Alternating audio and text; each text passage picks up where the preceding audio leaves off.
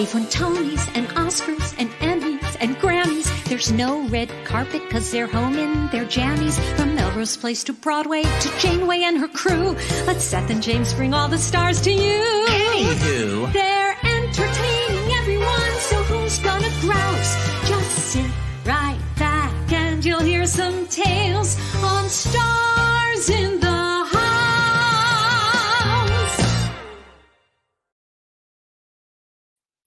Hi, everybody. I'm Laura Benanti coming to you from my attic. The glamour never ends, my friends. Oh gosh, I am very, very lyrically talented. Um, how are you doing? I don't smell great. I'm really glad that this is not a scratch and sniff situation, but I do have an incredible show for you tonight. But first, I want to thank you all for raising over $715,000 thus far for the Actors Fund through Stars in the House. Thank you, Seth and James. Thank you to everyone who is watching and has contributed and participated. I genuinely do not know what theater artists would do without you. So thank you. I just want to say very briefly I don't know if you saw recently the New York Times released an article about artists losing our health insurance. Um, so last year, the Actors Fund released the Every Artist Insured campaign to help folks at the six month and the year marks. They also have free dedicated health insurance um, workshops every year for free. Every, excuse me, every week for free, not every year, every week for free, including one on one counseling. And you can visit the Actors Fund website to register. So I just wanted to throw that out there. Um, my first guest is a very dear friend of mine. She is a Tony Award winning actress. But beyond that, and mom, and wife, and incredible human. And also, she is probably one of the most dedicated activists that I have ever known. Um, whether it's for Planned Parenthood, social justice and political reform, and most recently through her organization co-founded with Rory O'Malley, Stacey's Drama Club. Um, in fact, she was the recipient of the very first ACLU Michael Friedman Award for living a life and pursuing a career dedicated to social justice. Please give a warm welcome to Celia Keenan Bolger. Hi. Just two tired, two tired moms at eight o'clock. Eight o'clock is now my bedtime. like I'm done by eight o'clock. Whew. I've played so many That's characters when you're by eight o'clock. Yeah, where I'm just like, I just get in my coffin, and I close the lid. Um, thank you so much for being on the show. Before we delve into all of your social justice work, I want to first talk about your podcast. Oh, this is Um, the first time I'm talking about it. I You have inside know. You information. heard it here first, folks. Breaking news. That's the banner, the, the breaking news banner. The ticker tape, ticker, ticker, ticker. Exactly. So it's called Sunday Pancakes with Celia Keenan Bolger, right? Mhm. Yes, podcast to There you nourish your head and your heart. My head and my heart need nourishing. My Oh, body. sames. Laura, sames. I feel like inside of this pandemic, I was just like, what do I do Mhm. if I don't have a job? Yeah. Like if there's no acting work to be had. And I I think what I realized is the thing that I miss the most about work is being with other people. Like no joke, just like connecting with people, talking about our Mhm. lives or the work that we're doing. And I feel like when that was taken away this past year, I was like, what I? I'm so starved for human connection. And I was like, what could I do? I could make a podcast and I could make people talk to me. And so that's what I did. And it's not, it's.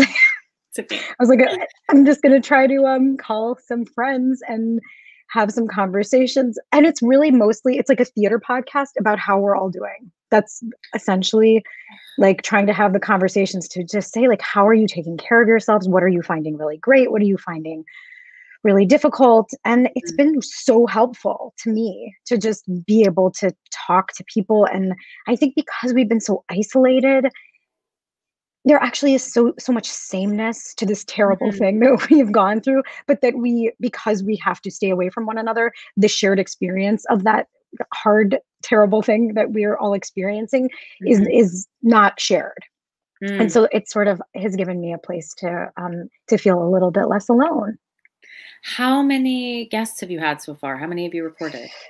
i've recorded four Okay, can you Um, tell us who? so yeah um, um denée benton Oh, um kelly o'hara amazing. sara bareilles Oh, and phillipa soo we're doing a we're doing a, an all ladies start I for international women's month um there will be men on the podcast at some point when i when i when i make a decision to talk to a guy sure. I mean, it's your Yeah. podcast. You do what you want to do.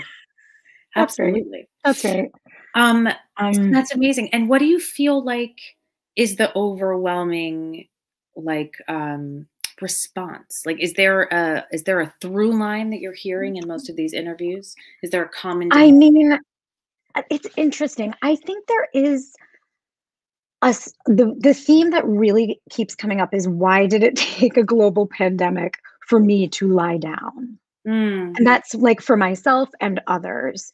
mhm, And just sort of what our how much our self-worth is wrapped up in the work that we do. mhm, How much I think we all feel like we became so much more politically activated and that that if the events of with George Floyd being murdered if if we had all been in regular times mhm, it wouldn't have felt like we would have been able to absorb that in the way that we did. And that what that has sort of brought up for for everybody and how we're trying to go forward mhm. responsibly. And um and so it's been i feel like it's it's interesting because everybody you know people have different backgrounds some people have kids some people don't Mhm. um and but really the over i mean i think the the big the big takeaway for me is that everyone was just like i, I didn't realize how much i needed a reset and also how difficult it is to reset like we're just Mhm. not really wired to be like and now i'm gonna um, let myself rest. And that will actually also be an act of resistance or an act of just trying to take care of myself. And that Mhm. is very very difficult to do that. Hmm And also the incredible privilege that accompanies that being your pandemic experience, as opposed to being correct. a worker on the front line or someone who, you know, has to go to work, you know, in a grocery store. And, you know, I, I think I can only speak for myself when I say like balancing that too, like saying to myself, I feel really guilty for lying down because I'm able to lie down, you know? Um, yes So I'm interested to hear people's takes on that as well. hmm Um, so I can when can we hear it and where can we hear it? Well you, it's gonna it's being produced by playbill but you'll be able to find Nice. it wherever you find your podcast apple podcast or spotify wherever stitcher is that still a thing Yeah. um but and it should i think we're we're probably it's it's i think at some point in march um i don't know Okay. that we have a hard Hmm. timeline at this point but it's yeah It's March, right? Is it March now? that's right Okay, it is great. march Um, Just barely, so just barely. It is and i think the truth is i would i don't know that i would have ever done this if i hadn't Mhm. felt like there's i you know i really like being an actor and Yeah. i was like i the side project is always something that i'm like that would be a good thing to do Mhm. Hmm, Yeah. in what what do you do? time and so you know it was sort of born out of this need for connection and and i think also i heard this amazing george saunders interview at the beginning of the pandemic and he was like you know what? It's an artist's job to document the time because nobody is going to believe what we just went through. Like in 70 years people will be like wait what? Like Yeah. everything shut down? And the, he was just like it's really we don't have to process it. We don't have to do anything. We just have to document it. And i was like this at least will maybe give a little insight into what this was. I don't know. Yeah. I love that. I love that um, view on it. And it really is true. I, I do think back to so many challenging times in our history and the incredible art that has come out of it Mhm. um, and how that did not that much art from people with children but yes a lot of really good Excellent point. Very good point. Mhm. Um, I wanted to ask you. So, okay, wow, that's really you're right. That really got me. Just now what you said. um, so now you're also filming Gilded Age for HBO Max. Yes. Which I'm yes. very, very excited to see. And I am also very excited. Before we were live, um, you were saying how a four, shooting a 14 hour day felt somehow easier than being a mother during a pandemic. And I, I will, I stand by it 100. So do I. So do I. I I worked for three weeks. I've never worked for three weeks on a television show in my life, like straight, yeah. like all day, every scene yes. we're block shooting because of COVID. Right. And so I was just like doing it every day. Yeah. And then got back yesterday and I was like, mm. why am I so tired? So, yeah. so, so tired. Yeah. It is. I wish there was a better phrase than stay at home moms. I, to me, that somehow mm-hmm. implies that they're just like home, like eating bonbons and just like chilling. Because I'm like, that is the actual hardest job on the face of the earth, at least for me.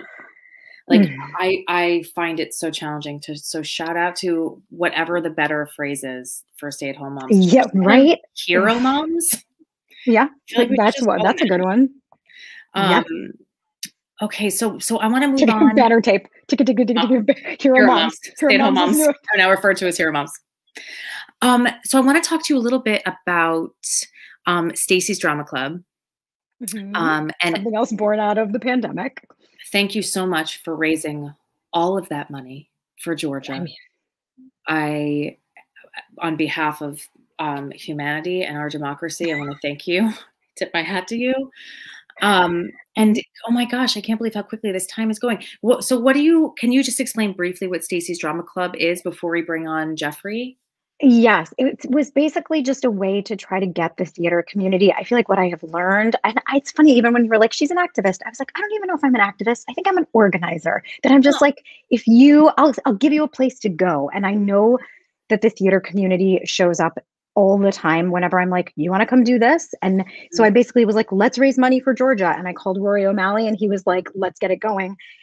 He came up with Stacey's Drama Club based on Stacey Abrams. And um, we were like, and we just coordinated an effort with the theater community. And after it was done, we had this huge list of people who were willing to volunteer. And I was like, I think the next thing that we should do is New York City local politics because our city is in such a really pivotal pivotal moment and so as i was starting to think about like who would we support it became very clear that jeffrey omura was my candidate and should be stacey's drama club's next candidate that we sort of threw our support behind because he is basically running as an arts and culture candidate he mm. i first met him he was an actors equity counselor and he basically organized with the other fair wage on stage stage people like one of the greatest um, income raises in all of like union like union history. Mm. but he also just the way that he talked about the value of artists and the way um, that we view ourselves i just found him extremely um, smart and also compelling. And then he was like oh yeah i'm also running for city council. And i was like there it is that's my guy mm-hmm. and so i like got to talk to him a little bit and I don't live on the Upper West Side. He's in he's running in District 6 mm-hmm. And so um so if you live in District 6, y'all get mm-hmm. get it going with Jeffrey Omura, but you can still um volunteer right now there's a lot of petitioning going on because in order to be on the ballot in the primary you have to have I'm not, I can't remember how many signatures. It's a lot, but and you have to try to get more than however many is asked for. So mm. they're in the process of doing that right now. He's done an amazing job of running, um, of raising money, and his whole campaign is run by all of these equity counselors that he ran with. And so they have this amazing not only just like this machine that really like knows how to work but i think they speak the same language and mm. they're dedicated to labor they're dedicated to housing they're dedicated to healthcare like things that obviously really affect artists but also mm. really affect small business is another one that he is really um, big on and so mm. just listening to him talk and he's also he'll talk about it i'm sure well i'll let him talk about it uh, and just say like he really i was so moved that someone from our community would like look and see a space and say, I could fill that space. And mm-hmm. if he's elected, he'll be the first Japanese American openly gay um, city council member for New York City. So, like, mm-hmm. there's just a lot to it that feels really um, moving, but also really inspiring. So, mm-hmm. I feel I feel really um, I feel lucky to to put his name out there and to be in any way associated with his campaign. That's amazing. And with all of that, let's please welcome Jeffrey to the show. Hello. Hi, How Jeffrey. Are Hi. How Hi. are you? you? Laura, it's so great to meet you. And Celia, thank you for So that wonderful to you. introduction. Come on. How are you doing? I'm doing great. I'm doing great. It's been um, it's been a wild few months. We we announced the campaign in November, and uh, you know I didn't know what what to expect. This is my first time running for public office, but uh, the the arts community has really rallied behind this campaign. Um, like like Celia mentioned, uh, we we did a, a pretty good job with the fundraising.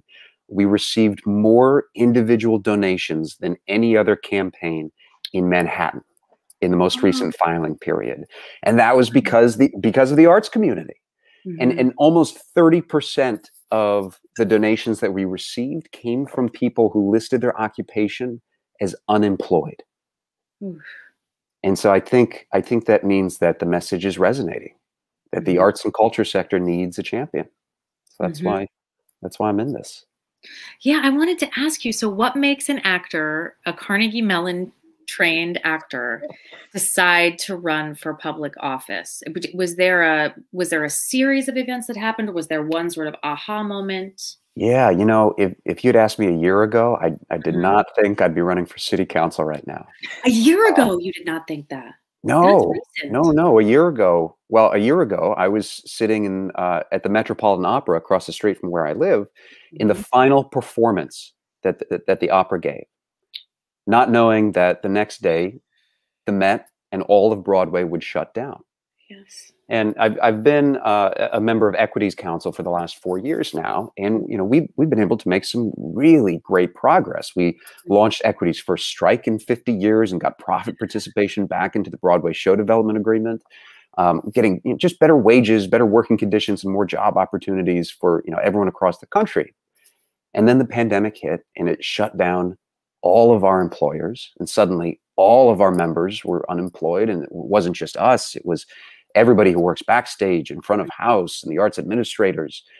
And this past summer, we realized that help wasn't coming for us. Yes. We were getting left out of the conversation at every level of government. And at the time, the uh, the U.S. Senate was negotiating the HEROES Act, and it, it looked like the arts was going to get completely left out. So we Yeah. scrambled and started organizing, and we created the Be an Arts Hero campaign Mhm. and uh, we, we organized the national arts community to collectively lobby Congress for direct arts relief. And we sat down with over 60 US Senate offices. And in the most recent stimulus package that was passed in December, we got $15 billion in direct arts relief. So that was a huge step. It saves, uh, you know, that was part of the Save Our Stages uh, Yes. program. So Mhm. it, it saves the stages. But now we've got to now we've got to make sure that all the arts workers survive Yes. all of us. Uh, Mhm. but um, you know, I, I had been lobbying city council for arts funding on behalf of off-Broadway theater companies. You know, some of them are, are huge institutions, and some of them are tiny, where every Mhm. single dollar counts. And it's you know, for them, it's it's really hard to pay uh, anything close to a living wage. Mhm. So we decided to, to team up with the artistic directors of these off-Broadway theater companies and go to city council together and and get more funding Mhm. that's how I got to know all the arts advocates on the city council, and we have some really great ones. The problem is they're all term limited, and Mm. we've got this election this summer, and and after after everyone votes, two thirds of the city council is term limited. We, we've got 51 seats, 35 I think are are term limited, so we're going to have a, a brand new government. And there may be no one left in that government to advocate for the arts community at a time when we need it most. Woof. And you know, Broadway's going to come back. Mhm. It's going to reopen at some point, but we don't know what it's going to look like. Mm-mm. We don't know how. We don't know how long it's going to take. Uh, it's certainly not going to come roaring back at the you know the record-breaking 2019 numbers that we had, Right. but it's going to come back, and it's Yeah. and we're going to need allies and advocates in the city government to make sure that our industry has all of the support that it needs, um, and and to make sure that audiences come back that you know, it's 70% of, of Broadway audiences are tourists. Yes. So what's the city's plan to make sure that all of those tourists come back into the city so that we can we can all get back to work? Right. It's not as simple as just like everybody wear your mask and get your vaccine and then it's going to be fine. Right. And just, you know, just I last also week no no go Oh, I was just saying that just last week, um, you know, Governor Cuomo announced that venues would be able to to open their doors, and everyone got really excited. And they're like, "Oh, well, Yeah. maybe that means Broadway's coming back." And you know, I, I I talked to some Broadway producers. and They're like, "We can't operate at a third capacity, No. and even if even if we could, we you know we still have to keep the performers safe. Yes. So until until everyone's vaccinated, it's it's really tricky, uh, you know, figuring out how to um, how to reopen a, a business like Broadway." Yeah. I mean, especially if, you know, 80% is herd immunity and 25% of our population is kids who can't be vaccinated as of right now. And then not to mention the people who refuse to be vaccinated. Um, it's it's going to take a minute for us to get there. But Sales, what were you going to say? Just that I loved th- so much that you also had worked on behalf of off Broadway theaters because I think sometimes Mhm. it's easy to feel like, you know, we have to get Broadway back, we have to get Broadway back. When the truth is, like, the best theater that I see in the city Mhm. is usually off Broadway or Yeah. in some other, and that this idea that there will be somebody who is knowledgeable, not just about like, economy and you know we have to get the dollars back in and like broadway broadway but that you have this nuanced take on what not just arts and culture but specifically inside of the theater. And i think i've i've talked about this before with jeffrey that i just feel like we are in this moment in history that feels like repair and reconciliation is like of paramount importance. And i don't know where else that happens. It doesn't happen on Mm. social media. It doesn't happen through journalism. It's like arts and culture stories are the only way towards empathy i think towards Mm. seeing one another Mhm. more clearly or at least understanding one another and like Mm. if we don't put so much money into our arts and culture i don't know what that means for our fractured country Mhm. Yeah. Yes. Yeah, you know, e- everyone keeps saying, you know, we need to um, we need to get back to normal, and it's you know that's not that's not good enough. The Mhm. status quo was not working for nearly enough of us, and Mhm. so as we as we reopen the arts economy, we've got to figure out how do we make it more inclusive. Um, so if, if if I win this election, you know, New York City has the largest arts budget in the country. It's larger than the the United States arts budget. Hmm. So it's you know it's a huge responsibility um, deciding where where that money is going. How how do we allocate those funds? Mhm. And we've got to make sure that it includes all of the communities in all five boroughs that have historically been shut out of funding opportunities. Mm. This is so important that that that the uh, the arts community we we create after this is better than what came before. Yes. I think that that's going to be a, a really big part of my next conversation with Brandon and Cindy from Broadway for Racial Justice. Um, so I'm really happy to hear you talk about that. I, I, I think we're going to dig into that more. Um. Jeffrey, where can people learn more about you? Where can they go to, you know, to to just you know understand you more and what you stand for? Yeah, so jeffreyomura.com has the the full platform, including a, a pretty comprehensive arts and culture recovery plan. Um, I, I've talked to all the all the stakeholders in the industry um, to brainstorm as many ideas as we can. This, this is just a part. There are many, many more. Uh, but go to the website jeffreyomura.com. Um, we we would really love some donations right now. We've got a, a, a filing deadline tomorrow night at midnight. Uh, and so it's it's yeah it's it's a big one. Yeah we need we need donations. Um, we also need help with volunteers. I keep saying we're going to win this race by having more conversations with more voters than any other candidate and we need help doing that. We have we have a pretty great team but we need we need more. We need to keep it growing. So how can someone volunteer and what are they volunteering for? What does that So look like? yeah so right now we're out in the streets uh, collecting signatures for the ballot petitions uh, Mhm. officially we need to collect 270 270 signatures our plan is, is to turn in at least three times that many just to be safe Okay. uh, but it's it's a lot of uh, you know we, we need a lot of help to do that Um, Mhm. we're also having text banking and phone banking sessions. Mhm. Uh, and you know, uh, Celia was was very generous with her time, and she hosted a, a meet a meet and greet for us, uh, and introduced the many of her friends to the campaign. Uh, you know, things like that are, are a huge help. It's and because we're all just sitting at home on Zoom all day, uh, it's pretty it's pretty easy to do. Yeah. Um, well, this is all fantastic. I thank you both so much for being here. Yeah. Is there anything else you want to add before? Yeah, one one other thing. Um, I feel like not enough people got to see your performance in Meteor Shower. I'm so glad we got there. I'm really, this is the important work that you're doing. Wait, but you How can were I so vote for you more that. than one? I am Um, telling you, this you, was one of the best performances on Broadway that year. Oh, Jeffrey. It was one of the best plays on Broadway. That it was only open for a few months, right? And then and then it disappeared. It was always meant to be that. I think anytime there's like big movie stars involved, they're like, I mm-hmm. will do eight performances and then it's like done. So, you know, you've Amy Schumer and Keegan Michael Key, we were only ever meant to go for like, I think it was five or six months. Right. Thank you. Right. And you're and you're up there with with the two of them, these, you know, all-star comedians, and you're there Yes, with Jeffrey stealing stealing every What? scene that you're in. It was on. my my mouth was open for for 90 minutes straight. That's really kind of you to say. I really appreciate it. I really miss that show. I really miss all shows, and I'm really grateful to you for all that you're doing. And Celia, as always, I'm grateful to you and I love you. And it's been such an honor to have you here, Jeffrey. Everybody, head to jeffreyomura.com to learn more, see how you can um, dedicate your time. We really we we need him, and we need to get our stages back. Uh, Jeffrey, I wish you much success. Sounds like you have to offer, especially understanding the importance of the arts. Yes. Oh, thank you, Susan. Really appreciate that. Thank you both so much for being here and have a Of great rest of your night.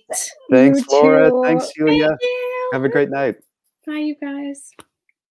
Bye, you guys. I keep doing it. Bye, y'all. I keep using this gendered language, and it's a really tricky thing as a very, very old woman to um, let go of. It's something I'm really working on. My daughter's great at it because we had like a conversation about why we don't say it, and now she corrects me, which is really great. Um, I know that it looks like I'm I'm not looking at the person, but I am. It's just that I wish you could see my configuration Uh, it's very um, shoddy work that I'm doing over here. Um, but I, I, I'm sorry if I look cross-eyed. Um, so our next guests are Brandon Michael Nase and Cindy Tsai um, from Broadway for Racial Justice. Before I bring them on, I'm going to quick um, read for you their mission statement. They're fighting for racial justice and equity by providing immediate resources, assistance, and amplification for Black, Indigenous, people of color in the Broadway and theatrical community at large. So please welcome the founder and executive director of Broadway for Racial Justice, Brandon Michael Nase, and one of the board of um, one of the people on the board of directors, Cindy Tsai. Hello. Hi. Hello. Thank you so much for joining me. Absolutely. Thanks for having us. Of course. Um, okay, this seems like a very obvious question, but I am no Oprah Winfrey. So you know what? I'm I'm, gonna actually- do my I'm- best. I'm so glad you said that because I was gonna be like, Laura, I hope you were like fully ready to channel like the best Oprah you have. No, I'm, I she's she's queen, and I just worship at her feet. But can you explain why you felt the need to to form this organization? Yeah, I can. You know, it. Um, I was actually. I came into this career later in my life, acting. I was a an educator in in the public school system, so I got my undergrad in music education, and then I taught. Mhm. And I actually left education because of my own experiences of racial trauma. I was called the N word by another teacher, um, and a lot of things. and what state? Texas. Yeah, Oh, Texas okay. and and there were just so many things that happened and it was just like yeah i need to i'm i'm gonna i'm going to do what i always wanted to do which was perform but i Mhm. grew up i grew up pretty poor and and i was like i need to have something that i know i can get a job so that's why i i i, I was like i can be a teacher and i like teaching Mhm, and then i came into the theater you know i i went to grad school at nyu mhm. got my master's, and in between my two years of grad school, I did late, my first professional gig was Les Mis at the Dallas Theater Center, and Liesl Tommy was the director. And it was like a completely different. I'd done the show before, like at my community theater, but it was like completely different. Our Jean Valjean was Indian, our Fantine was black, our Cosette was Asian, our um, Eponine was Latinx. It was just like it looked like the world. Mm-hmm. And we were doing the show during the Ferguson riots, and mm-hmm. Liesl was like, you know, what we're doing, what we are doing in this show is what's happening in Ferguson. This is revolution. Mm-hmm. Um, what what the story we're telling is right now. It's literally happening right now, and that moment for sure changed me. Um, mm. Working with a woman of color who just like embodied strength and just stood in who she was for me to look up to mm-hmm. that and be like oh i want to be able to do that mm-hmm. and so then i finished my last year of grad school and then went into the theater industry and was like think so this isn't how we did it when i did this show with liesl this isn't the space the same time i, I wasn't and i just mm-hmm. was like oh this industry is is really truly no different than me leaving education. It doesn't matter mm-hmm. where I go, I'm gonna most likely experience racial trauma. Mm. And so from the time I graduated, I mean, it's like you know, I could I could run through the list of like, well, this show, this happened, this show, this happened, this right. show, this happened. So I had always said, you know, we need somebody to advocate for us. We need we need mm-hmm. somebody. We need an organization. You know, the theater community is so inclusive for everyone. Truly, it felt like except us, except for mm. for me, except for Black people, except for people mm. of color in general. And and George Floyd happened last year, and I mm. looked around, and I think it was that there was like a weird limbo where everybody was really frustrated because the theater community wasn't saying anything. Like theaters mm-hmm. or shows weren't posting anything or saying anything. And mm-hmm. it was in that moment that I was like, okay, well, mm-hmm. I don't have a platform. I don't have a Broadway credit. I, people don't really know who I am. But at the end of the day, somebody's got to like stand up and say like, this isn't right. This is not. This is unacceptable, and we have to move forward in a completely different way. Mm-hmm. And that's ultimately what I, I what I did and felt needed to be done. Yeah, now, thank you for that. Now, Cindy, you are in a different place in your life. You are in school now, mm-hmm. um, sort of entering into this industry. Yeah. Can you speak to your experience in in the institution that you're in right now, and and your experience, and then also maybe a little bit about See Our Truths? Yeah, of course. I, well, so yeah, I'm Cindy Tsai. I'm part of the board of directors at Broadway Racial Justice. And um, I currently attend Pace University in the musical theater program right now. Um, and it's much like the rest of the world is reckoning with this fight of, you know, truly, it has never been okay. It has never been um, equitable, whatever you want to call it. Um, and we're finally like calling attention to it. Um, and it is strange being like, you know, I'm like a 21 year old and like I kind of only really um, started doing this work a couple years ago. Um, so I feel very, I, I, tell Brandon all the time, I have like imposter syndrome about mm. my activist work or like, you know, do I have a place to speak um, within the industry? I feel like I'm not even like in the industry yet, um, things like that. And I think like Brandon says it so well is like the the people who need to be heard the most are usually the people who aren't even in the room. Mm. Um, like ha- haven't even gotten the chance to like be in the room yet and yes. I feel like students specifically are just they are the future. So like mm-hmm. the people that are in these collegiate programs eventually will become the people that shape the industry. And so I think it's like imperative to care about um, the, these students in these training programs um, because that that's exactly who you're going to be working with, uh, who the, the, next generation is. So, See Our Truths is a community-led organization. Um, it's created by PACE uh, alums and current students, and we share our individual and collective truths about the traumas that we faced in school, Mm. specifically in like BFA theater programs and performing arts programs in in college. And yeah, I just implore everybody to check it out. And check out See Our Truths. There are a lot of um, really necessary stories that are being told there, um, and to just support because this this fight is the same fight um, that Ra- Broadway for Racial Justice is fighting. It's the same Mhm. fight that we're fighting with for Black Lives Matter. It's the same fight that we're fighting with for Stop A- API Hate. It's the same thing. So um, you just got to support. Mhm. yeah. Cindy, do you ever have do you ever worry as as like a, a young person and a young artist entering into this um you know this community do you do you ever fear like blowback or do you fear do you have any fear around it Oh yeah, all the time. yeah the have you had any have you experienced it I've I've definitely experienced it within my program. So like when I when I speak up about something like, oh, actually, this thing in the classroom that you said was wrong, um, I experience retribution in different ways. Whether it's Mhm. like maybe I I got bad mouthed to a, a professional in the industry, and then I think like, oh no, my career is over, and like Mhm. it sort of like that is the thing is fear is meant to silence people Mhm.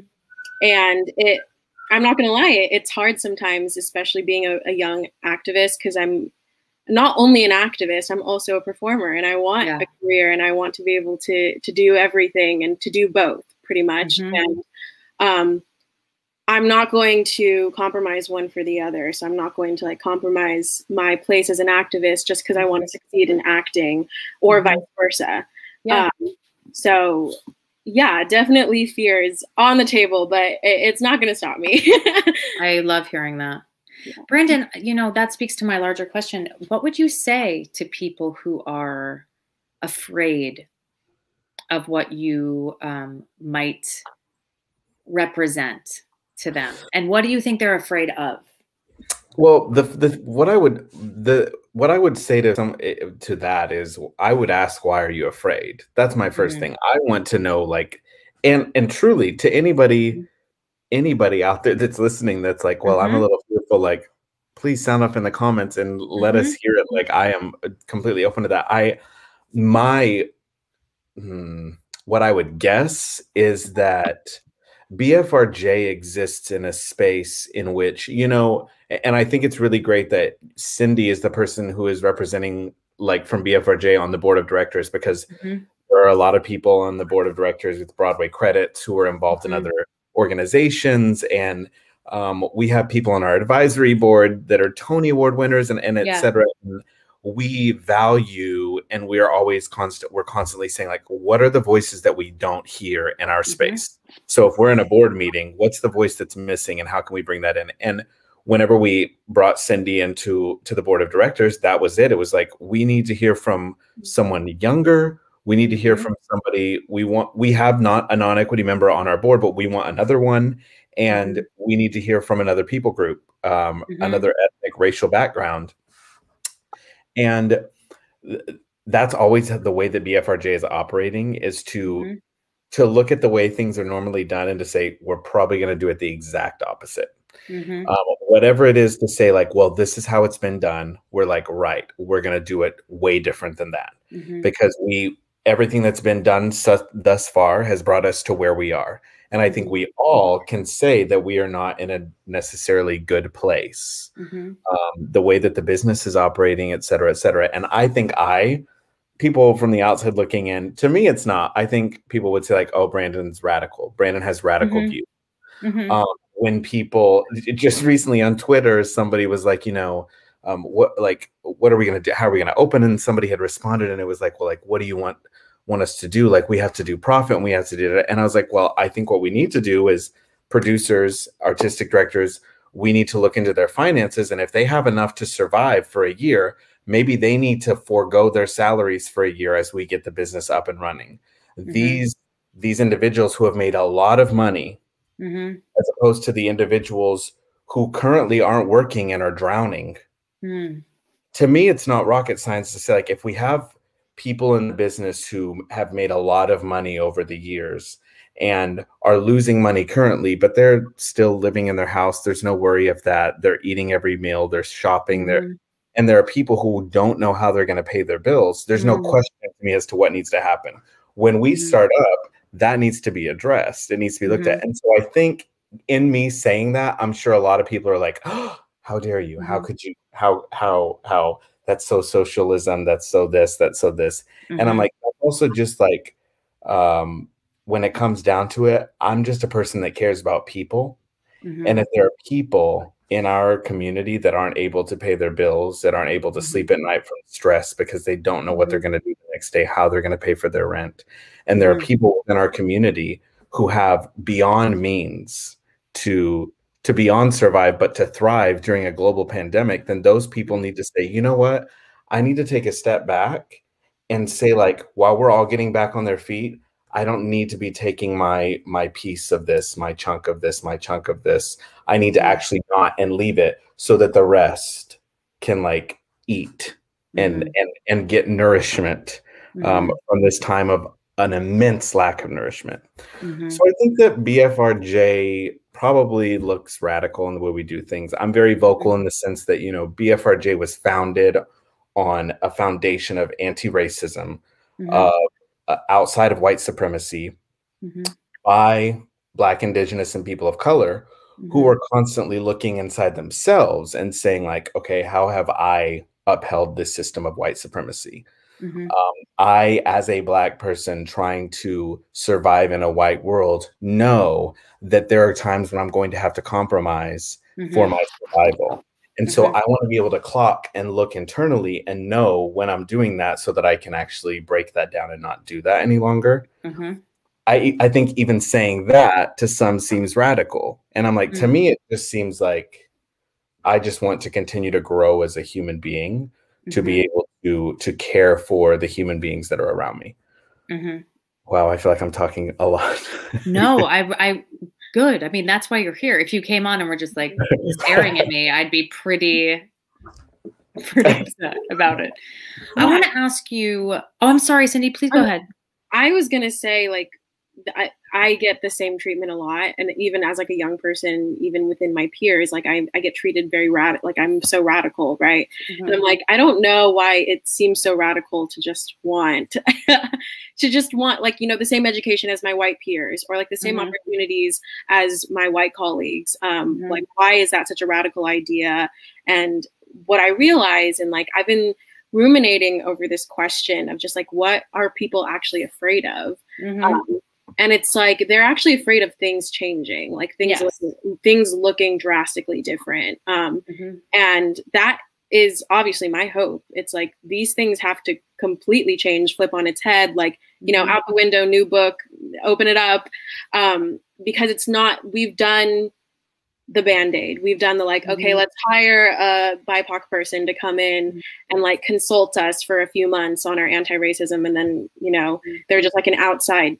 source or um, you know Mhm. let's just hire a couple actors and like make it look like our cast is diverse or and you know Mhm. any of these things it's like no we need like a huge structural change and i think that is what people are afraid of because then they will be entering back into an industry where they are no longer familiar with what is going to happen um, and i think like it's what we're encountering in a, in a lot of different um, there are so many examples that i could pull right now specifically at pace. It's like you know there are some faculty that are just are not here anymore.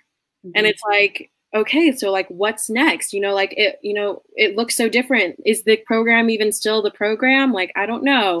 I look at what's happening with the bachelor franchise how like everything is being turned on its head. Um The Bachelor franchise? Wait, like the TV show The Bachelor?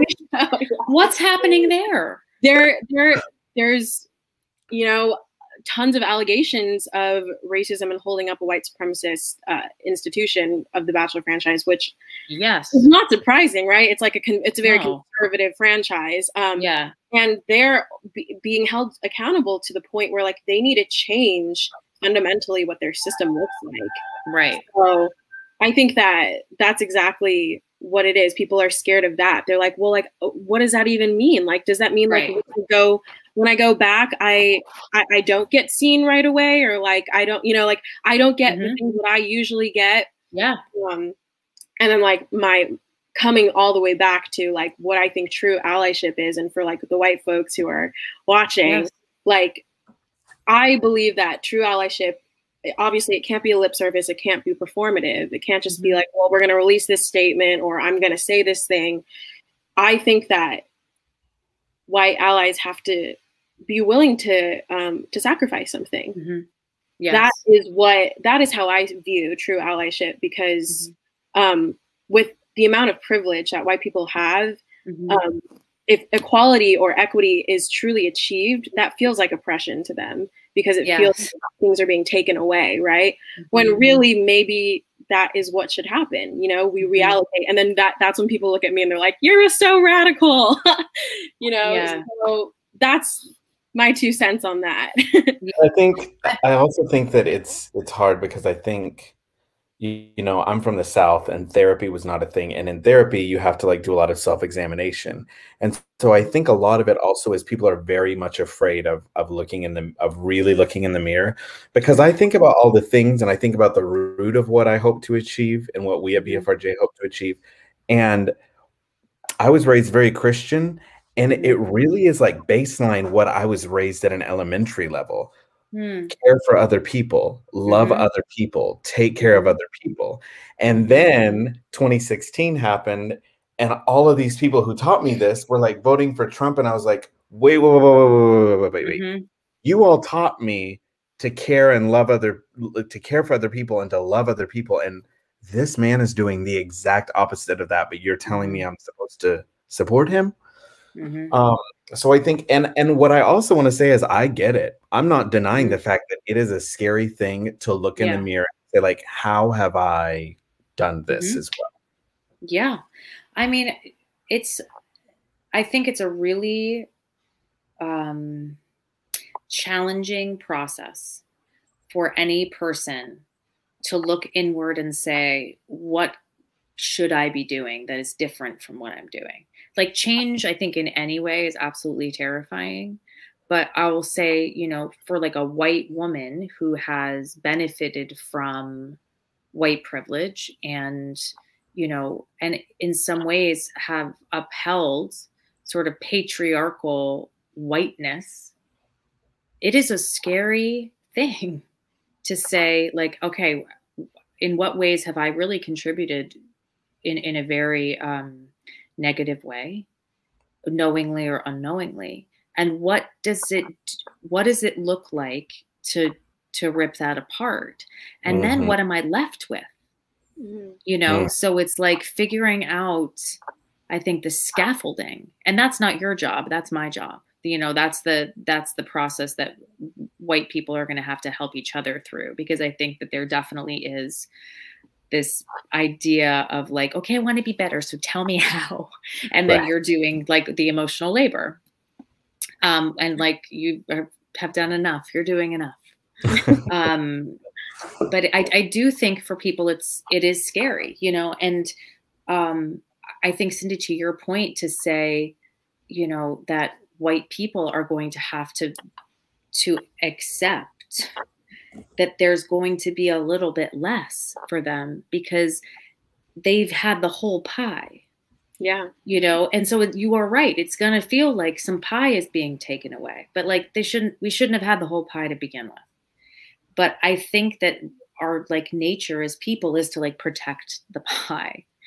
Um, you know, and it's one thing for me as like, you know, a, a 41 year old woman, you know, to feel like I feel ready and willing to to like remove myself from situations that would be better held by a person of color. But i would imagine as a young person in school entering into this you know new environment that there might be some fear around that you know? But musical theater has always looked like this you mm-hmm. know? It's always looked like this. And so it does feel i think to some people somewhat radical to say like no it needs to look like the world looks to brandon's earlier statement mm-hmm. definitely yeah yeah I wanted to ask you too, Cindy. Do you do you feel like you know? Obviously, you've experienced racism your whole life. Do you feel like it's increased at all during the pandemic? I know anti-Asian racism has, you know, has Mhm. really ramped up. Have you experienced it personally? Um, I mean, as much as I can infer, I mean, obviously, I think like back in like January of 2020, before it, you know, like coronavirus was on our minds, but it wasn't like serious yet. Everyone was still saying it was like the flu. I remember like um coughing once on the street and like this man like running away from me Mhm. or like you know me being on the subway and like getting off a subway seat um and the person who was about to take my seat like had a can of lysol and like sprayed down the seat right after i le- like yeah so like Yeah. there's that you know and then obviously we see the the huge rise in like actual like physical violence Mhm. and um shunning and verbal violence on Mhm. Asian people um, throughout the in, the entire country and even the UK right now. Mhm. Um, it, yeah, I mean, obviously, like it's not new. No. Asian anti-Asian rhetoric and treatment and violence. Mhm. It's it's been here since we came here, Yeah. and so. I, and, and I know that um, like Mhm. my, my parents are immigrants they have experienced their fair share as well and it's like Mhm. yeah it i think what is different about this year and there's so much that's different about this past year right and it's Mhm. like first of all we're all on social media and we all see it and there's Mhm. surveillance videos and there's cameras and Mhm. um, people use their iPhones to film these things now, and um, I, I still there is this um, silence around Mhm. anti-Asian hate, Mhm. um, and that just feels um, it feels generational. It feels because of like the history of it, um, and the history of Asian people in this country has been mostly um, fulfilling stereotypes or you know like the model minority myth of Mhm. being silent or being submissive or being uh, being quiet or being complacent, um, especially in the fight uh, with other BIPOCs. So um, I think because of that, there's a lot of silence around this, um, even in the Asian community, Mhm. because a lot of people are processing, like, wait, like we, so we don't benefit from the model minority thing, like that wasn't real Mhm. like we, we actually don't have a proximity to whiteness that really really benefits us and we're, we're not white actually we're not treated like them um, i Mhm. think a lot of people are get coming to that realization Mhm. so um, i just urge people to they like this just has to be talked about it has to be Mhm. there has to be something done about it obviously Yeah. because this is like hundreds and hundreds of years of in, in the making Yeah. uh, it, and it shouldn't it shouldn't surprise anybody that Right. you know this and you know i'll say it even if i'm like a broken record i will say like if you are um, fighting against asian hate you're also fighting for black lives you're also fighting for for any oppressed group any marginalized group because um, truly it is the same fight towards liberation um, and so I just want to say to anybody who you know made that commitment to anti-racism, to Mhm. you know, like back in June last year, it's like now's the time. We, Mhm. we see things happening every single day to Black, to Brown, to Asian folks, and it's now's the time to speak on it, to do something about it, um, and yeah, that's what I got to say. Yeah. You know, I want to I want to circle First of all, I realize um audience watching at home that we've had zero performances. Um this has felt like such an important conversation to me that um, I didn't feel like we needed it. If you are missing and wanting and craving some performances, you can actually go to the YouTube channel for Broadway for Racial Justice. You will see four Fridays worth of performances. Um, from their revival concerts. They are absolutely incredible. You can get yourself there as soon as we're done. Oh my gosh, which is so soon. I can't believe how quickly this has gone. But there are some absolutely incredible performances. Quickly before we go, I, I want to ask, you know, so what are the immediate resources and the assistance that you talk about in your mission statement?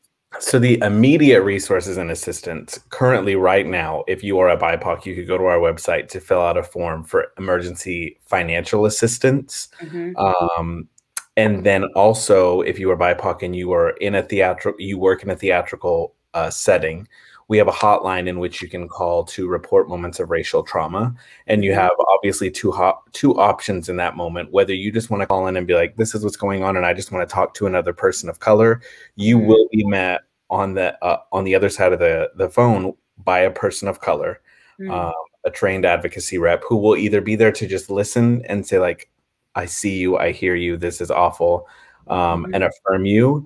Or if your choice is could you help and advocate for me on my behalf in this situation? We also will serve and step into that space as well as an organization. Those are the immediate resources. Also we have an engagement team that meets every friday that is open to bipoc and white allies. That is just a space to come into community to share how's your week? What's going on um, hear updates on broadway for racial justice what we're up to how you can get involved further um, am I missing anything, Cindy, about immediate active resources?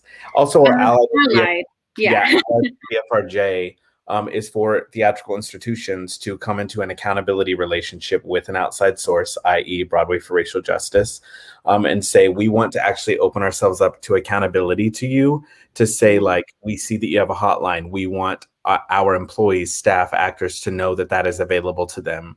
Uh, we mm-hmm. see you have emergency assistance. And we also want to open ourselves up that if a moment of racial trauma happens in our institution, at our mm-hmm. theater, at our university, we want you to reach out to us so that we can form community. This isn't a moment of policing. We are anti-policing. Right. It's a moment of forming community to say, like, how do mm-hmm. we come together to learn and unlearn? Brilliant. Mm-hmm. And before we get we we say goodbye and are taken out with the melodious tones of I'm every woman, what does true white allyship look like? Because I think that that is a really um, challenging descriptor for people. I think there is a lot of performative activism. You know, it's really difficult to unlearn centering your whiteness. Um, what, as succinctly as you can, just for my, you know, the white people watching at home, what does true allyship look like? I think you know Cindy. Cindy touched on on saying like yes. you know it, it's actionable, and yes. the things that I have been saying recently, it you know I heard a a, a black female identifying theologian speak at a or speak at a conference, and she said, you know, to a room full of white women, you have to divest from whiteness. And women started getting up and walking out of the room. But this idea of divesting and investing, where what are you divesting from and what are you investing in? And like, are you divesting from institutions, systems that seek to hold the most marginalized down? Mm. Are you investing in those institutions? Because you need to be divesting from those. Mm. And then what institutions are you investing in? Mm-hmm. Are you giving to your money? Excuse me. Are you giving your money, time, resources, thoughts, whatever you can provide to BIPOC led organizations, institutions, mm-hmm. people? Are you amplifying the work of BIPOC artists? Mm-hmm. Um, are you producing work that is amplifying the same people over and over again. Mm. And even to say, are you producing work that is amplifying the same BIPOC that you want to say there is only space for over mm. and over again? Or are you looking at the people that nobody knows mm-hmm. that you've never heard of that it's like, oh, these people are incredible? Mariah Little, who you're about to see sing I'm Every Woman. I would that people don't know who Mariah Little is, and yeah. everyone should know who Mariah Little is. Mm-hmm. mm-hmm. Absolutely. I would say also, yeah, just really quickly. Um, yes, please. I think as much time, I think about how much time that Brandon and I spend on racism, which is a white problem, right? It's a white yes. supremacist problem. And so yes. I think of like, if I'm spending this much time on it and it's not even my own problem, yes, white people should be spending just as much, if not more, time on this. Yes.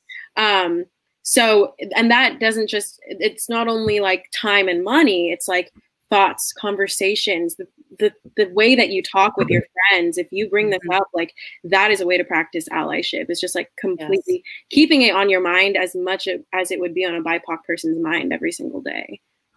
That's yeah. so helpful. Both of those suggestions are so helpful and actionable. I really genuinely appreciate it. And i appreciate you coming on here and and donating your time. Um i know that that's you know a lot to ask of people right now. Um but you know all you know everything is going to broadway into the actors fund which is keeping so many of us afloat. So thank you for being a part of that. Um, i'm really grateful for what you do and let's go out on i'm every woman mariah little yeah. Ah, I love this. Yeah. Thank y'all so much. Thank, Thank you, Laura. Good night. Good night. Whatever you want, whatever you need. anything that you want done,